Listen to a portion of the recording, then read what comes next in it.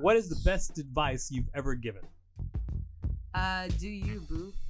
That's Yeah. the best advice you've ever I given. always tell people. No, like, Do uh, you boo? uh, Do you you boo? boo? The best no, no, advice you ever no, gave no, was a no, trine like frame. right?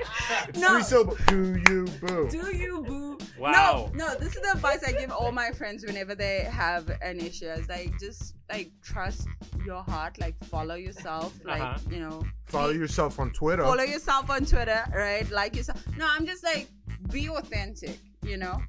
And you're not like this is one life you have to live. Like you're not here to please anybody else, Right. You know, not you're not here to like live up to anybody's expectation. Unseemly question!